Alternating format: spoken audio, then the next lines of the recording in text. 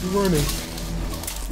Behind, behind, yeah, right there. Five seconds left. Op You keep 20 hitting on the hostage. Let's go! Yeah. Bruh. Clashes.